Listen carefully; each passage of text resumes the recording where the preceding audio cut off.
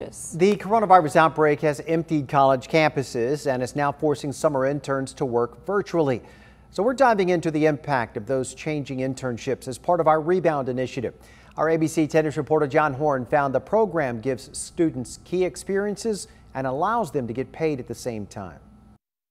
We were going to be in Salzburg. It's beautiful this time of year. Laura Bolt's plans for a summer abroad came to a screeching halt because of the coronavirus. So, of course, I'm just like super disappointed that I wasn't able to go. Laura, a physics major at USD, suddenly had an empty schedule. But I figured I needed to do something productive with myself. She landed an internship with MakeSafe Tools, a San Diego manufacturer of devices that allow emergency stops on construction construction equipment, both in the home and in the field.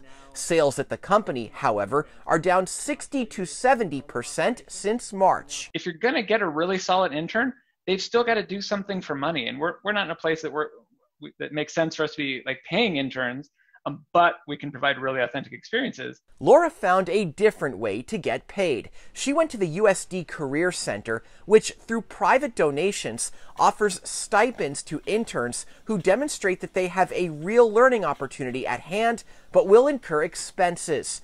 They can be granted between $500 and $5,000. I, you know, maintain a pretty good computer setup so I can do all my programming and things like that. There might be some software licenses I have to buy. Now, Laura does a bit of everything at MakeSafe Tools. She codes, does web design, technical writing, and even participates in meetings with customers. Oh man, everything, everything I can. All from the comfort of her own home. John Horn, ABC 10 News. And John tells us that Laura is one of 80 students who got grants this year for internships. The university divvied up about $180,000 this summer.